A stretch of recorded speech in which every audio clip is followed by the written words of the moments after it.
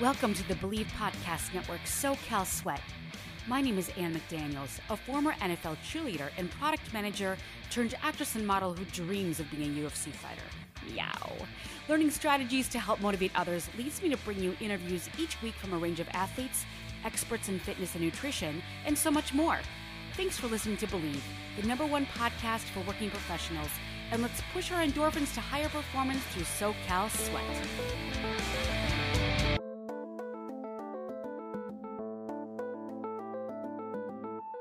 This is your host, Anne McDaniels of SoCal Sweat. The diet and lifestyle of most Asian countries attributes to longevity and overall health. What are the secrets? And how can we incorporate them into our own culture through Asian cuisine, where food is considered medicine? This episode features Diane Yang Kirk, the Rachael Ray of healthy Asian cooking, according to Steve Lin of The Dental Diet. Diane will speak on the multiple benefits of cooking Asian cuisine, as we also refer to her HOIA cooking channel. HOIA stands for Healthy, Organic, Inspired Asian. And as we're cooking at home more frequently, HOIA will offer a multitude of healthy and delicious meals and cocktails. Since Diane is also an accomplished actress, the cooking videos she produces and shoots offer a higher level of excitement. I now introduce you to Diane Yang Kirk of HOIA, her healthy, organic, inspired Asian cooking food show. And today we have Miss Diane Yang Kirk of the HOIA Food and Cooking Channel. HOIA stands for Healthy, Organic, Inspired Asian, and I will not do the official Hoya until I hear it from Diane herself. Can you give me a Hoya, Diane? Hoya! Woohoo! Now it's official. Now, yes. she, what a cool play on words. You've got the Hoya, almost like a karate or chopping chopping method for the cuisine. What a great idea to come up with. And it's a beautiful cooking channel. I mean, the presentations, the colors, your humor, your cats show up, guest speakers show up. It's just a really fun channel to watch. Um, this was a natural fit for you because you were the oldest of three siblings and you had two working parents and you prepared a lot of the meals at home and you learned healthy cooking and nutrition from your mother. Can you tell us a little bit about that? Sure. Um, I actually just want to tell a really funny story about the origin of the name, if you don't mind. Yeah, please do. Of HOIA. So originally, um, when thinking about sharing this kind of information and sharing my um, my love for cooking and the information that I know about healthy Asian cooking, I wanted something catchy, but something that also meant something. And so I started talking about the adjectives of, of what my uh, what I'm presenting, which is healthy food, Asian inspired, because it's not just traditional Asian food per se. And uh, and and so there you have H O I A, and I just work the uh, work the letters around and I had this word that wasn't a real word, but it sounded like Hoya. And then therefore it's that kind of the play on the karate and stuff. So um, that was a very happy accident. no, it, it, works, it works out perfectly and it's very catchy. Mm-hmm. And um, I've, I've been so, so, oh, go ahead. Yeah, I was going to say, so uh, my background when it comes to food and cooking, my mother is a nurse. And so she would always come home and say, you need to take these supplements, you need to eat this. So you not, do not need to eat that. These are so these are fats that you should have. These are not and, and everything. And of course, over time, as uh, new information comes out, some of that information changes. Um, I was immersed in in that and being aware that it does make a difference and also uh, being like you had said the oldest of three and having parents who were not always home when we got home from school i would rummage around my cupboards in the pantry and say what can i create here? And in my home there was always a mix of american foods and asian ingredients a lot of which were in bags and tins and uh, cans that i had no idea what they were but I would experiment or um, I would get help from my parents when they were around. no, that's amazing. And so therefore you were already, you already were doing like almost like your take on chopped. Like let's put these things things together and see if it works. And I mean, were your brothers were your were your brother and sister always loving loving the cuisine? Were they pretty honest with you when you were little? I don't really think they had much choice in the matter. good, good. if it was food around, there was there was going to be food. But I think um, it, I've always been a really creative person, whether it is dance or art or uh, just various or music even um, of that. So I think this is just like another place for me to play. But that really started to develop when I was in college, and I went to college at NYU, which is in New York City. And in New York City, it's known as one of the most uh, amazing culinary cities. So I got to experience the best of the best because I had a boyfriend who liked to take me to fancy restaurants. And mm-hmm. I was like, oh mm-hmm. my goodness, this is what this is like. And on a college student's budget, which is basically no budget, if I wanted that again, I needed to um, try to create it myself. And I was also, it was the first time in my life I had cable. So I was addicted to the Food Network. so sure. when I was doing my homework and studying, that was playing on, on, on the, on the TV uh, next to me. So it just kind of all, it, it all, it, it became a bigger influence in my life than I ever would have imagined then. Sure. It's amazing who you date and what you're exposed to early and and you had cable. So you were able to watch that. Now you were also put on a lot of dinner parties and things like that for your friends and you were always known for what comes today as the Rachael Ray of healthy Asian cooking. And they raved about your presentations. I put some of the quotes in the in the bio, but it's already sounds and this is such a natural fit for you besides that because you are an actress, you are a producer, and you're just damn creative. So this is just oh, a, a wonderful leeway. But um, Diane, did you did you when your mother came home and she talked to you about you know certain certain medicine? Did she teach you Chinese medicine, like some of the herbs and what they were known for, or was it mostly just the westernized um, supplements? When you when you said supplements. It was definitely a mix of both. Um, I think as a kid, you were in my family, my mom was boss. So whatever she gave me, whether I liked it or not, it, it went in my mouth and I had to take it. A lot of the uh, Western herbs and uh, potions, so to speak, were not very uh, nice tasting. so I remember not liking that a whole lot. But um, as I got older, I really started to do my own research and discover that food essentially is medicine and medicine is food. And because of that, I really started to delve more into important ingredients, both from the taste side and the flavor side and the creative uh, combinations that you can create, but also their health benefits. Because if you know that, then you're more to use them and play with them and be creative with them. Absolutely. And we'll get into some of those ingredients later and the health benefits and the beauty benefits. But something that I want to run by you and just from my own research and just being exposed to, you know, a lot of friends and from Asian countries, there are a few things that so, differ so tremendously from the Eastern and the Western cuisine culture and exercise culture.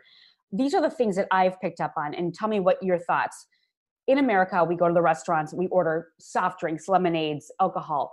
For the most part, I mean, even particularly with Japan, the following seems to apply like they order green tea and water. So already you're cleansing your system, you're making yourself full. So portion control. The kids, and I found this fascinating, the kids in Japan are educated in nutrition early in elementary school. They also are taught to brush their teeth after a meal. They learn to prepare meals as children and then they serve they serve the other kids and they do the cleanup, which I already is like almost ceremonial and appreciating food and already being exposed to proper nutrition, which I if America could incorporate that, that would be incredible. Um, also, portion control and slowing down with number one, the, the chopsticks that is slowly into the mouth and it's harder to harder to chew plus there's portion controls in multiple bowls or like you know those miso boxes things like that also i have found that meals are very important sitting down with family and friends in asian cultures versus uh, you know a lot of americans just at the counter. We we you know do it in our car. We eat in front of the tv or in front of our computer which again adds more like forget about portion control. We don't even think about it. And it's also ceremonial. You you you care about your food. You sit down and it's meaningful. So it, it just it's, it's a little bit higher quality. And then of course not a lot of snacking. There's no need for snacking. There seems to be three square meals a day um, and just very very natural ingredients. And also a lot of these countries are a lot more active. So a lot of kids ride their bikes to school and in america we don't really have a lot of these safe cities for kids to do that. So there's less there's more sedentary. And i would be curious to know if kids play video games as much as they do here in, in the western culture. So were you brought up on on any of these things or most of them? Um, those are wonderful points and great questions and things to touch upon and um, i grew up in i was born and raised in new york so i'm actually american. I am of chinese descent. I'm mm. chinese 100% first generation.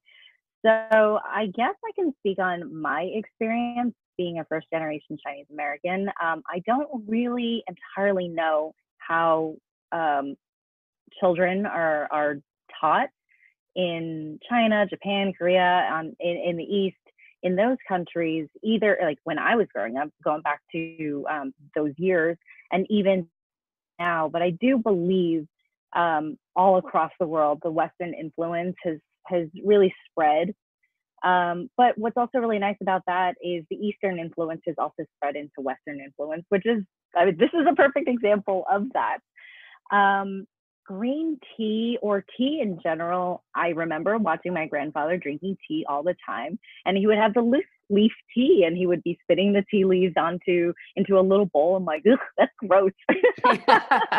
um, and I, I never really understood it, but uh, and then when I would go to restaurants or any kind of restaurants with my parents that uh, served Asian food, my parents would ne- would say, "No, you cannot have soda. You can only have water or tea." So that was a rule that was instilled upon us. And as an adult, I have noticed when I drink tea with my foods that have a tendency to have more oil or grease in it, it actually calms my stomach. It preps your stomach just like having soup before something warm before in your stomach um, a- ahead of time and then um, at the end of the meal to help with digestion. So and one of those herbs that um, that does actually help with with digestion is uh, ginger which is in a lot of asian food and there's there's quite a bit of um, ingredients that does help with digestion, but it that just happens to be one of them. So if you got an upset stomach, stomach, or if you're feeling nauseous, ginger tea is great. sure. um, but also, I have found that anytime if I feel like I had a, a meal that's a little bit too greasy, drinking hot water or hot beverage, hot tea um, afterwards really settles my stomach. It's that kind of like weird, queasy, mm, not mm-hmm. so good mm-hmm. stomach uh, feeling, and that definitely helps. And um, if you think about it, if you're drinking cold beverages, if you're having sodas along with your with your meal, and if it's oils and it's coagulating in your stomach, that could be a very good reason why your your stomach hurts. Absolutely. Besides the extra calories, I mean, you add 110 for a soda or or even up to 150 for a lemonade. So that's just another another good issue with that. I've also read that a lot of Asian countries use use a soup as the dessert. When you said I, I've seen a sweet potato ginger I've seen a black mm-hmm. bean, and that also aids in digestion. So it's it's a really um, great thing to have.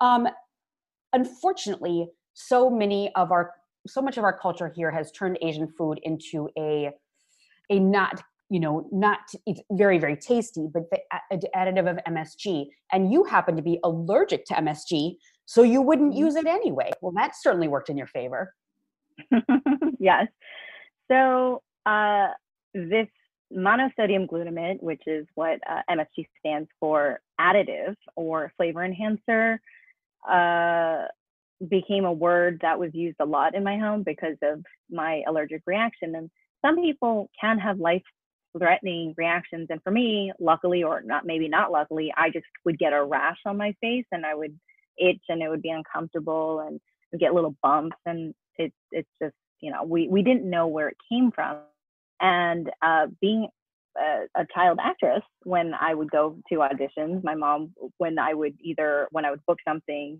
we would celebrate, she would take us out to eat, and I would have some foods with this uh, with MSG in it. We didn't know. And then come shoot day, I would have some little bumpies on my face, and we never knew what it was until we finally figured it out. Um, and so, because of that, then we had to be really careful about what I ate. And that's when I became an ingredient reader at maybe seven years old. I would sure. say in the grocery store, Mom, look, we can have this because it doesn't say monosodium glutamate. And then she would point out other ingredients as to why I can't have it also. well, you were already um, educating yourself because of that. And I'm glad you weren't anaphylactic or anything like that, like some of these horrible allergies. But yeah, as we know, yeah, going be... on camera, you can't have you can't have marks. So that helped you to now in your acting career.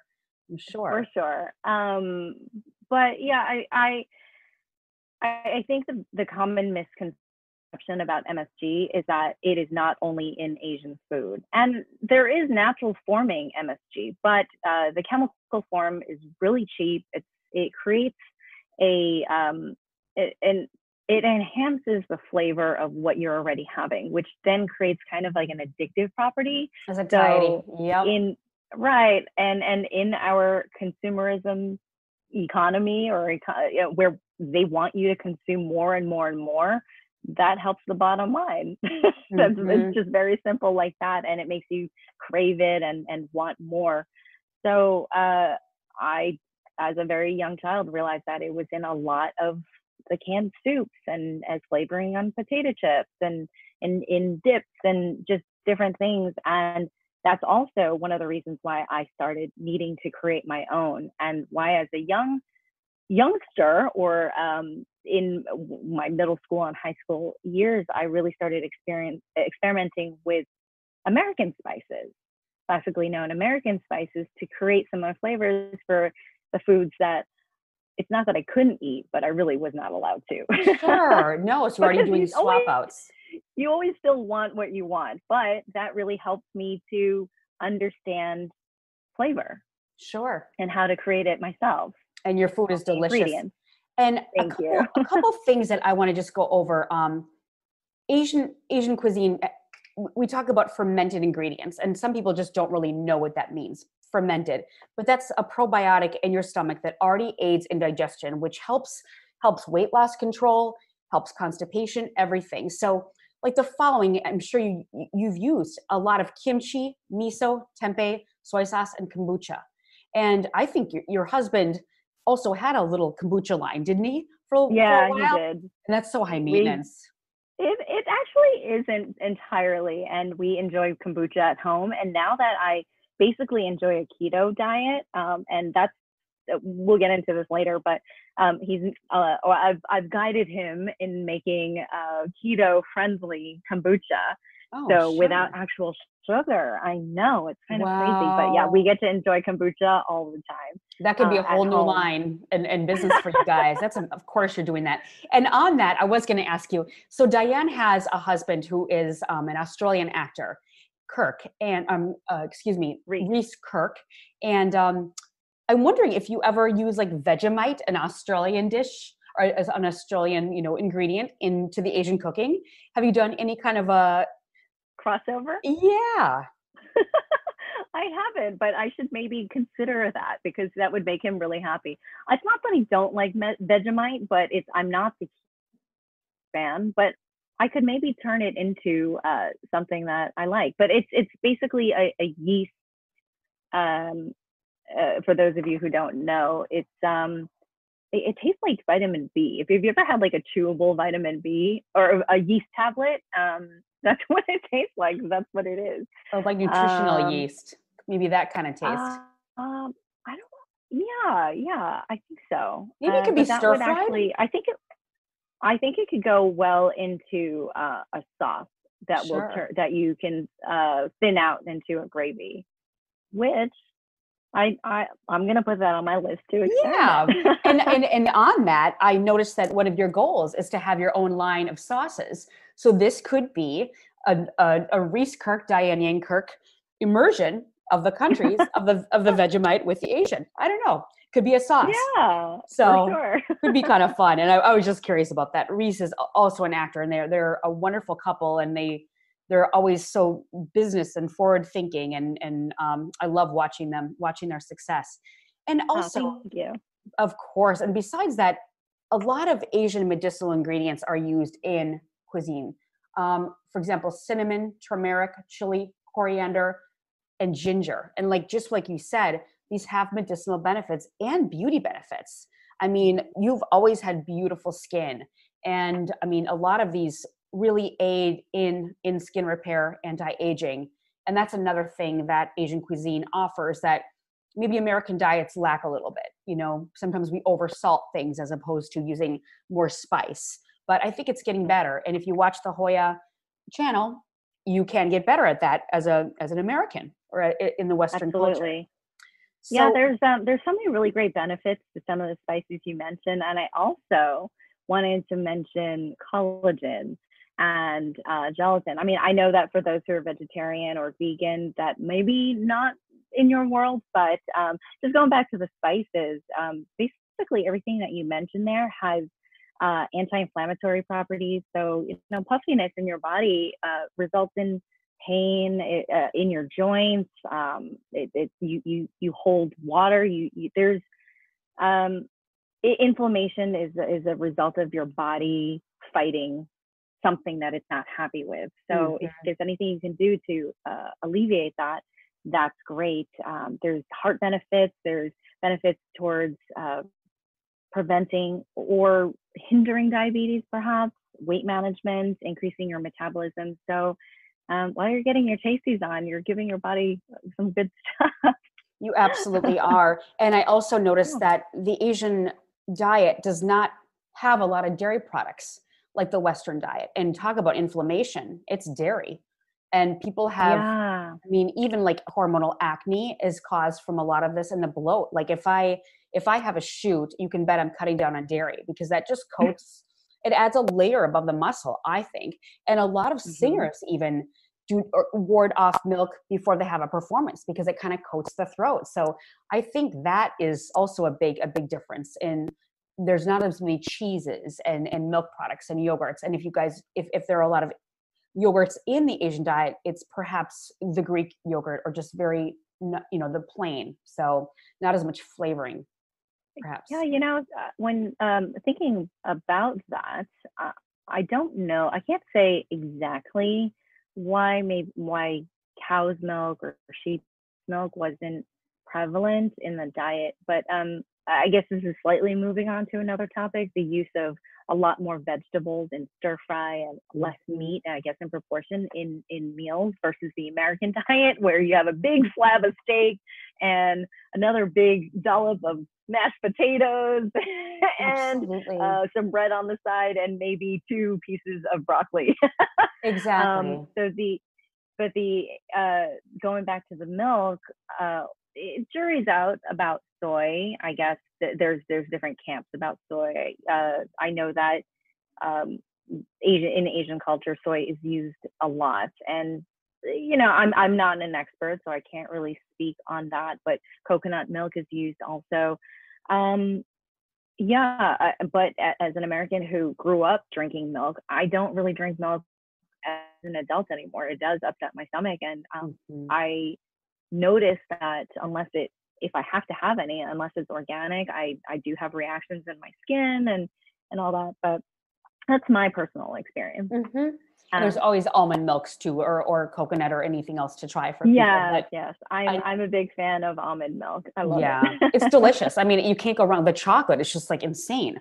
Um, you also, and I love, like for for the fall season, you have a wonderful um, a wonderful show, and it's it's there's a pumpkin. You make a, a pumpkin, eh, and let me just double check on the actual name of that. You had made a healthy organic pumpkin and chicken massaman curry. And what a great fall dish. And I think there's Mhm. so when you talk about you know putting an American diet with with the Asian diet, what what a creative and this is such a cute video because you dress up, you look like a witch, you've got the black lips, you do the do the little um and and this again lends to Diane being a great actress and producer and coming up with all these things. And I can imagine Reese is holding the holding the light, making fun of you in the background, and it's it's it's really cute. But that looks absolutely delicious for the fall season. Thank you. That was a really fun episode to do. Um, I had uh, one of my fangs fall out the introduction, and we have many outtakes of that, and that was just really funny. This uh, the fangs that I had for uh, with Diane Fang Kirk that episode. Yes. that uh, my fang wouldn't stay in my mouth while I was trying to do my introduction. Oh, that's funny. Uh, that's the whole thing. Yeah, I mean, you make I, it fun, you make it less intimidating, and we even get like you know roles from your cats. Your cats will make an appearance, and, and well, I, I do shoot at home and everything that I do show on my show, I like to think that unless you are in um, a very rural, rural area where you don't have access to um, some of the more ethnic ingredients, but hey, there's always Amazon, there's um, online shops that you can purchase from. Um, so things are, it's a lot easier.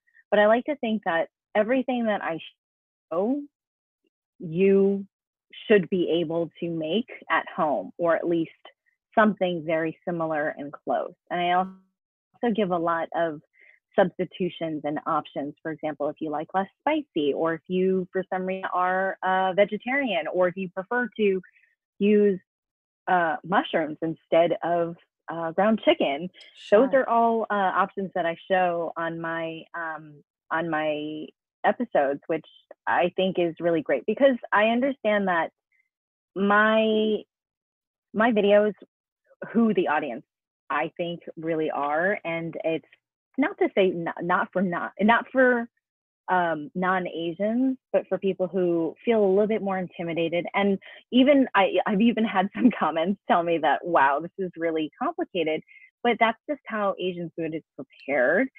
So I definitely have some tips when it comes to cooking and preparing, which if we get to it, we, I can share with you. But um, I really wanted to make it friendly to the Western um, audience. And therefore, for example, that episode, because of Halloween, and um, Halloween is such a fun um, holiday to be able to mm-hmm. kind of blend the two together. Sure. And with the holidays coming up, uh, I did do an episode with cocktails, and I am also, I've been for a very long time a bartender. So, um, yeah, some really great, uh, if, okay, why don't we say this? If you want to make a holiday cocktail which blends East and West, um, how about a Fuji apple cinnamon pie sake martini. Oh, that sounds that delicious. And I love I love that episode where, where you bring in your bartender friend. And these were yeah. such beautiful cocktails. So you make it so fun because Asian food is extremely intimidating. That's why it gets that's and even in these restaurants, it's just so glorious. And if someone can master that, it's it's a huge honor. Um, but you do make it fun and you make it friendly. And when you add the alcohol version, well, hey, you can get those college students but anybody who is you know concerned about their weight you definitely offer msg free healthy oils vegetable he- vegetable heavy low sugar. You offer vegetarian options vegan options gluten free and dairy free and like you said you're doing the keto diet. So you can mm-hmm. already mm-hmm. and sometimes people will be like oh keto? Yeah but asian food has rice in it. Well you don't have to eat just the rice. There's many other things. But if someone were to do a lower a healthier version of rice. Would you recommend brown over jasmine or or black rice? And that can be an intimidating um, carbohydrate to use within the preparation um, versus a white rice. What is your favorite go-to on that? Well if you're keto on, on specifically on a keto diet any kind of rice is going to put you over your daily carb intake limit. So um, let's just put that aside for the moment. Brown rice uh, the the outside basically the difference between brown rice and white rice is there's the outside um, there's an outside protective layer on the brown rice which has some more nutrients and ingredients but when it comes to the carbohydrate profile, it's about the same. But if you're going to have rice and you want something that's a little bit healthier, or at least you can get a little bit more from bite per bite, then I definitely do recommend brown rice and also black rice, which I do have in a number of my episodes. If you scroll through and look at the pictures, if you see uh, something black or purple on a picture, I noticed that, and it's, and it's beautiful. Rice. The presentation is gorgeous. I love black rice for that reason. But why is it more difficult than the other rices to prepare? Um, it's if you know the trick, then it's not necessarily more difficult. Um, usually, when you're making white rice, the proportion of water or liquid is one to one. So if you're using one cup of rice, you're going to uh, cook the rice with one cup of water. And the difference with black rice, which is sometimes also known as forbidden rice, or brown rice, is you need to add a little bit more water. So that way it can absorb into the rice and then you're not going to get something that's really grainy and and hard to chew and mm-hmm. um, not good. But you also can't put too much because then you end up with sloppy mushy soggy slimy yeah. And that doesn't bind yeah. well if you're going to do something like sushi or something like that. Well with sushi um, in sushi rice you do add a little bit of rice wine vinegar and um, some salt and some sweet ingredients. So that itself creates um, uh, some moisture in the rice, which helps bind um, when you're when you're rolling sushi uh, rolls or you're using for using rice for that kind of purpose. Sure. Well, so you bring up this tip, and I also like your tip of, for example, replacing liquid aminos for MSG. Um, what other tips can you share if someone were to just be starting out and like you know just basic tips and tricks? Um, and also, I'd love to know what type of dinnerware or what type of preparation? Like would you need a wok? Would you need a steam a rice steamer? What are some things that, that a very basic beginner could buy um, just to start off? And and if they get intimidated what are some tips to keep in mind? Uh, i love this question and oh my gosh i got so many tips. This will be hard to keep concise. Um, first of all um, just kind of finishing off on the keto um, topic when it comes to rice cauliflower rice is popular um, as a replacement for rice because of uh, that the carbohydrate profile. I gotta admit, it's not as tasty as white rice, but you can still enjoy the beautiful stir fries or the beautiful uh, other ingredients and and pair it with the cauliflower rice. So that's one. Another great option that I really like to um, enjoy the flavors and the ingredients of Asian food without rice or noodles is, believe it or not, lettuce.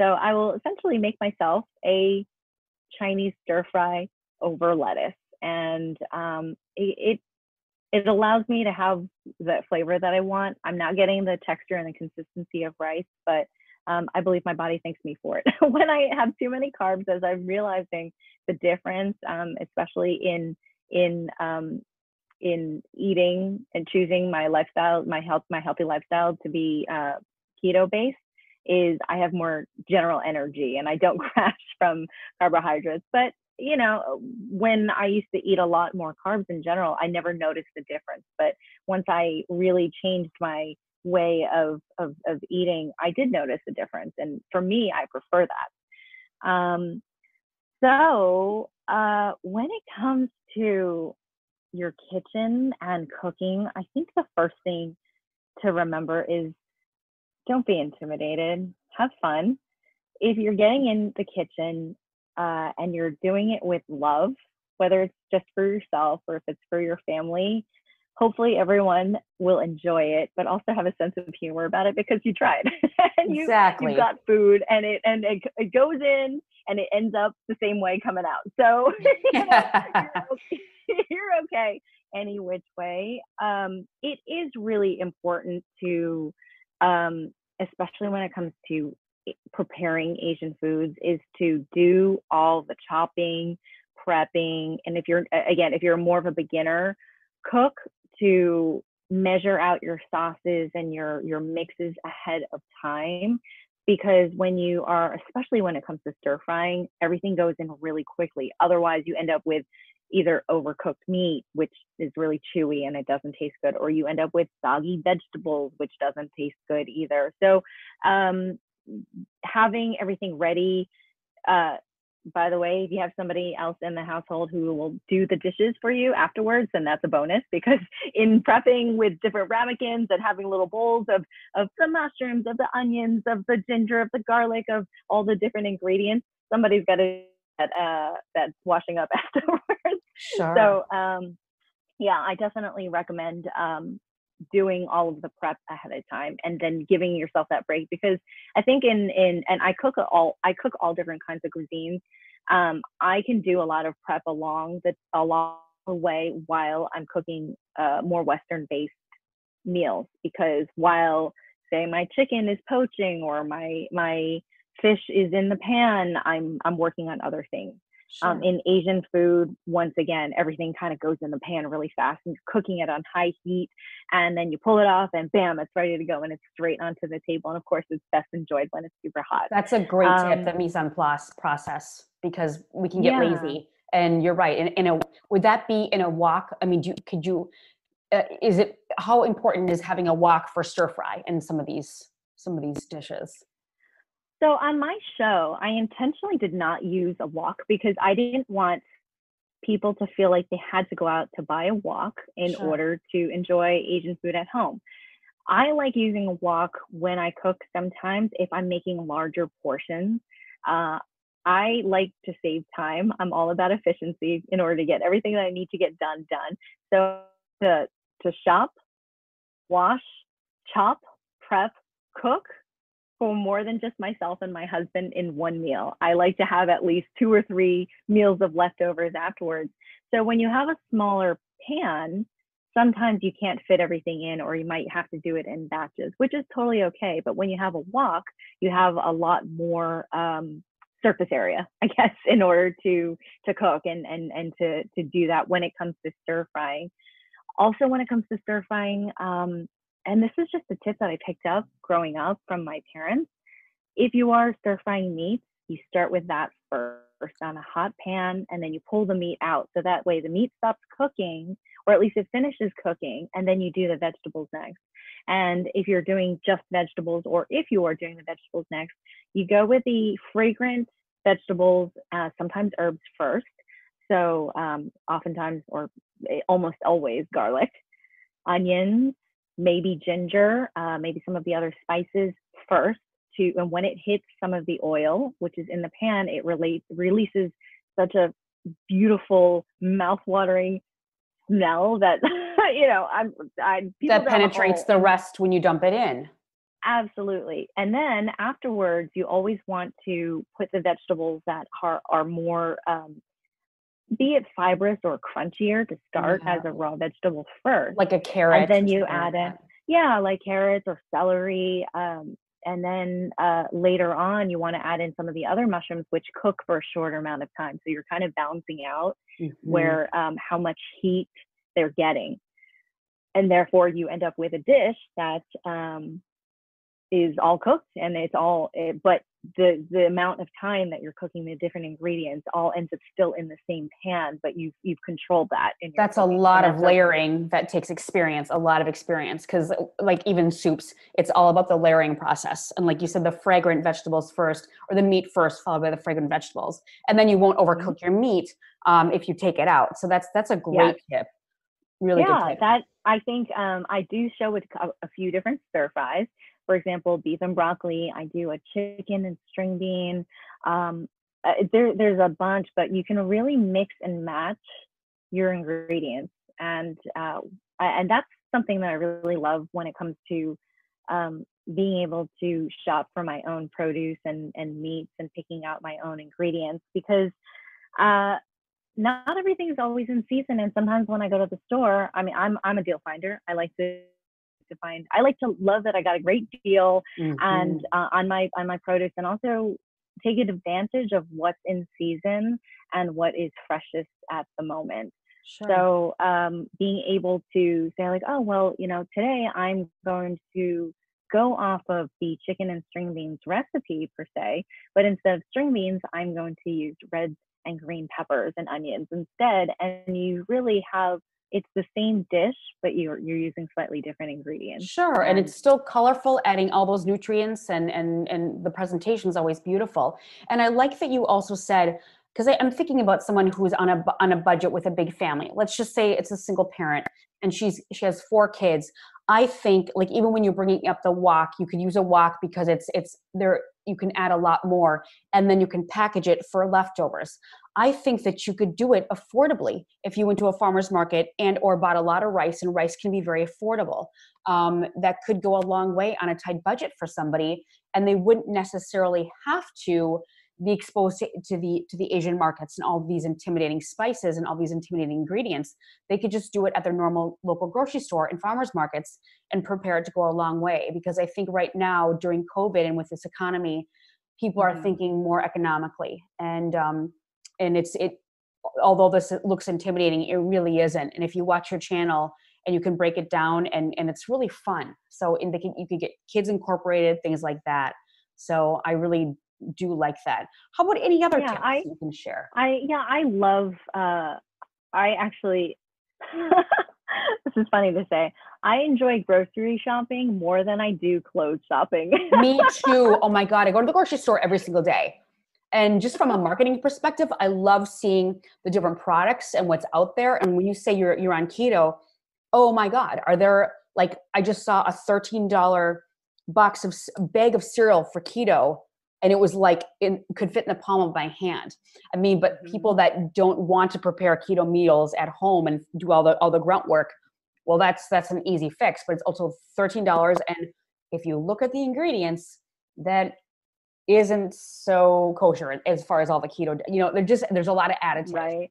I think if you make I, it at home, better. Yeah, I always like to think from Mother Earth.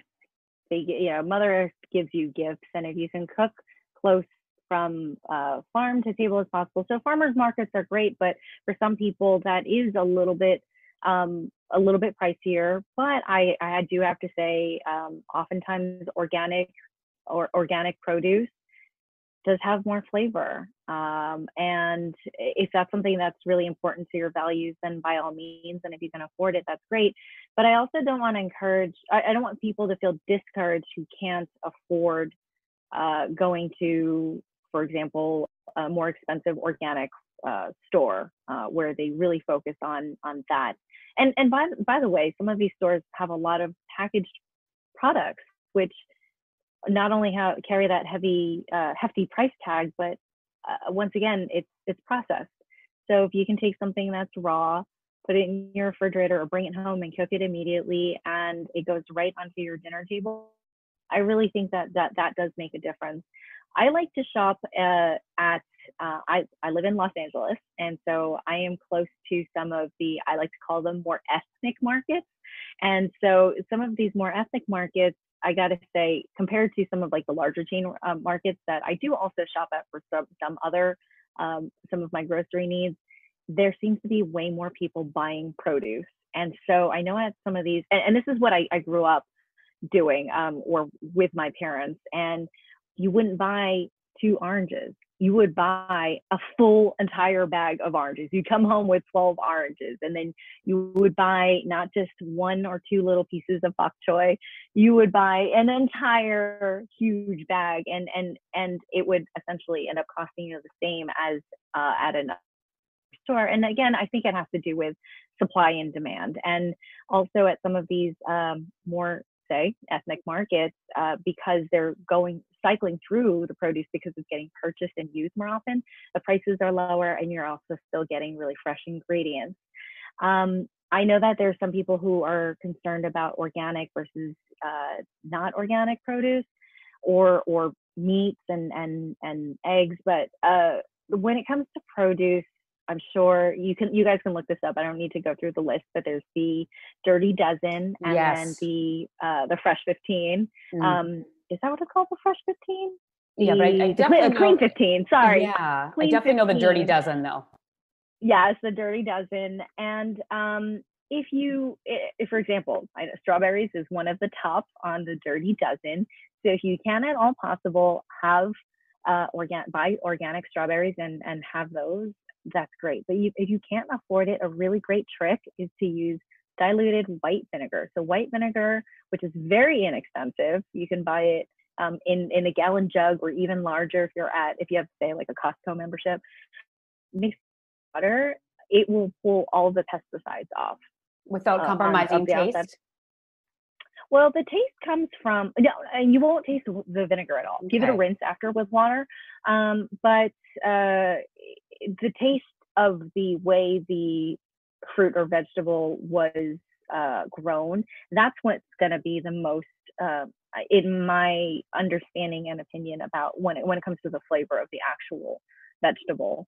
Um, and that has to do with how it's grown and the fertilizer and how much the soil has been stripped and sure. you know all that stuff but again you know if you are doing your best to provide for your family and you're doing your best to try to have healthier options i promise you a packaged meal is not going to be as healthy as uh, a uh, a home cooked meal absolutely. um, no matter what. It's just time is money I, I just, too. you can't you can't sell you can't sell me on that. But also um, one of the first things that you'd mentioned um, about uh, kids sitting around uh, as a family and having dinner together and putting that effort in and of course in in america there's a lot of families where both parents need to work. I grew up in one of those um, those households but when it came to mealtime multiple times out of the week not always but multiple times out of the week we did have to sit at the table together and have a conversation and we would we would talk and i think that that also um, creates a, a good feeling around yes. a bond and a good feeling around about around food and eating together um, and just an awareness that popping something from the freezer into the microwave and serving up on a table mm-hmm. just doesn't it it's doesn't. just a good catch-up time for mental health period and i think that's a great point but really quickly yeah. back to the ethnic markets i myself shop in koreatown all the time i love hk market the mm-hmm. produce is absolutely monstrous. And I love the Fuji apples from HK Market. I am telling you, mm-hmm. they are the size of a bowling ball. And they are so sometimes you get a big piece of produce and it just doesn't is not as juicy or flavorful.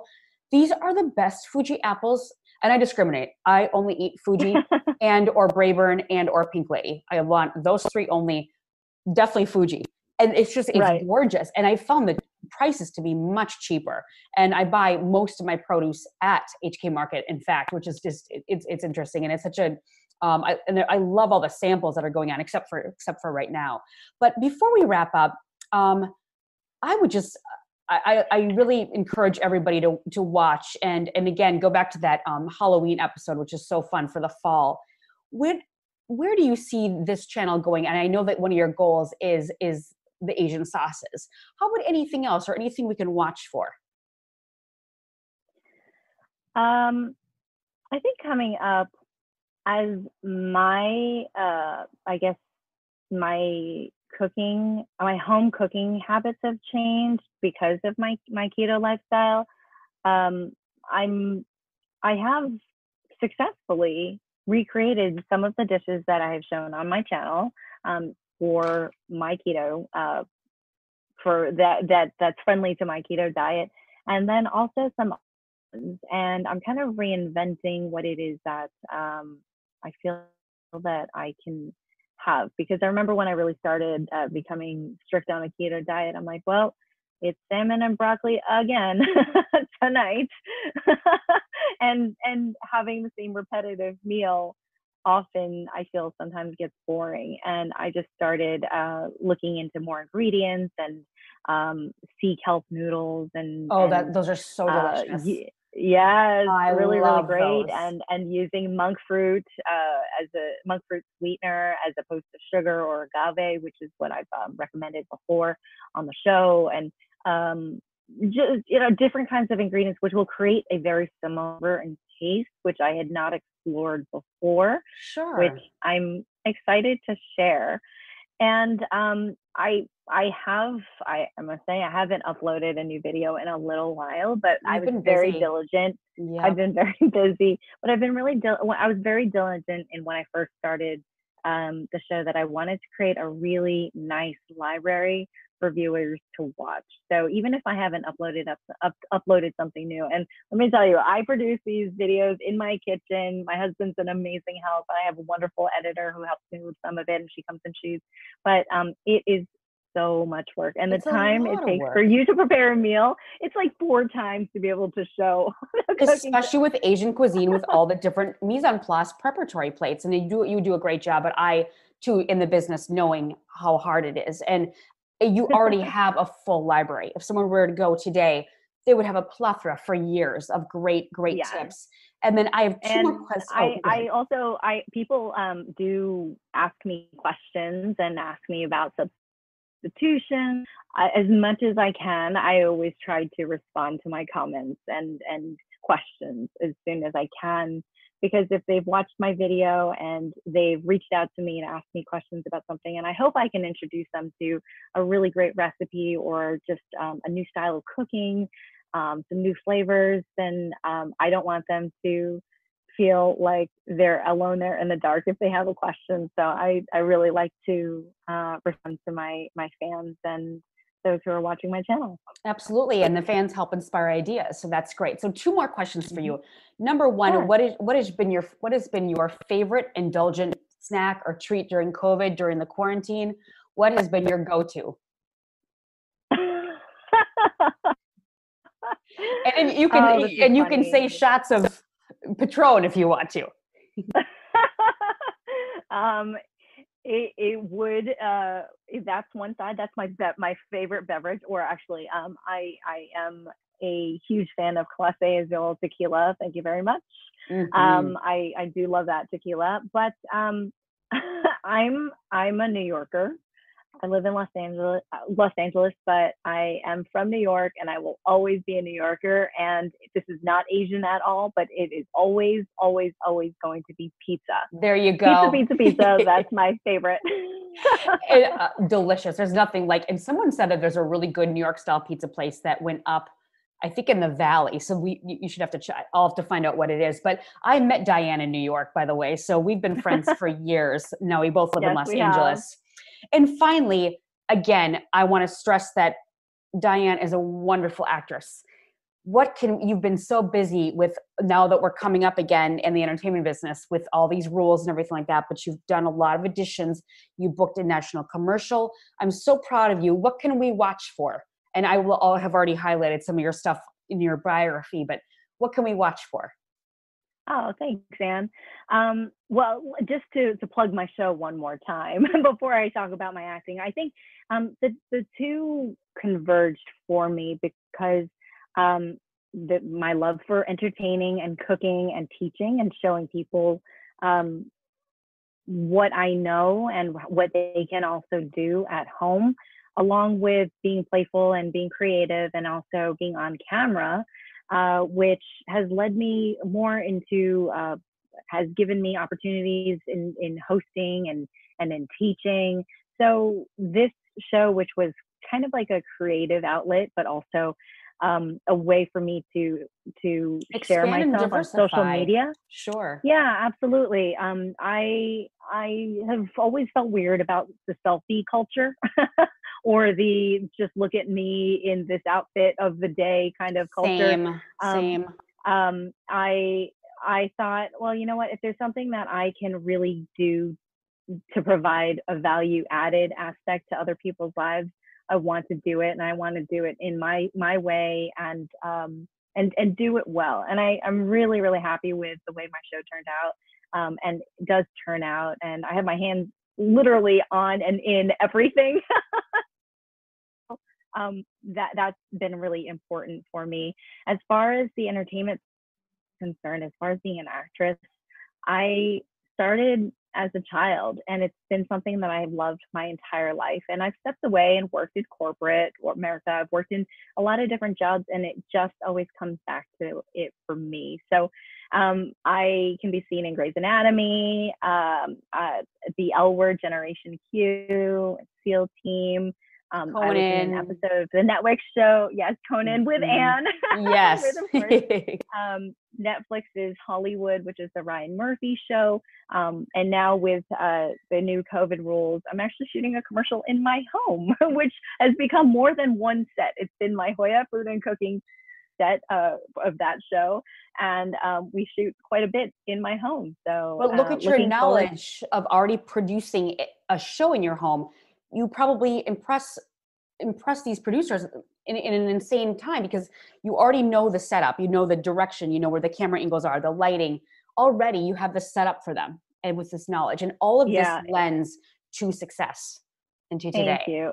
It's and I always like to encourage people to, it's not even about preparing, but just get uncomfortable and be comfortable being uncomfortable and do things outside of your your your comfort zone and and push yourself. And and it's okay to be a little stressed out and balancing too many plates because you never know when one of these uh, plates that you're balancing comes back and helps you in a different way. And just like you said having all of this great uh, great equipment at having the lights, um, knowing how to edit has really been so helpful in my my acting career as of late as the industry has completely changed in how we produce um, our auditions and our tapes and now even our own shoots for actual ads on for television. Actual, for an actual production company. No, that's wonderful. it's, it's diversifying and you grow. You grow when you're out of your comfort zone. And if you fail, you didn't fail. You learned for the next time um, and you learn from the mistakes. And like you said before in the beginning of the show, you can laugh at yourself, make fun yes. of yourself, make it fun. Don't be yes. so serious. Even though you and I are both alpha type A's, it's hard to come down from that mindset. But I think the more you go, you just have to have to roll with it. So this is wonderful. So to remind the audience one more time, this is the HOIA Food and Cooking channel with Diane Yang Kirk on YouTube and her Instagram and Twitter are at Diane Yang Kirk. And then I will put all the links below, including her IMDb, so you can see her full resume.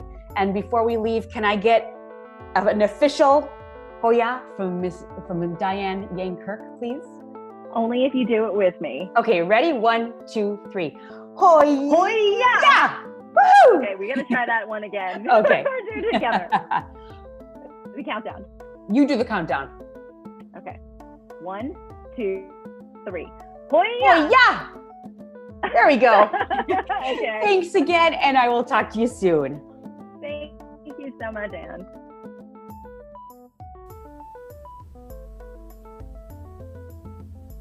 And that was Diane Yang Kirk, highlighting the benefits of Asian cuisine through her HOIA Healthy Organic Inspired Asian Cooking Show. Please stay tuned in next week where we uncover the power of EFT for managing stress, anxiety, trauma, and more for better mental health. We appreciate you for listening, and please subscribe and rate the show on iTunes. You can also listen on Spotify, Stitcher, Google Play, Luminary, TuneIn, or at Bleav.com. You can reach out to me for any questions or topics you'd like covered on the show at Anne McDaniels. And I'll see you next time on So Cal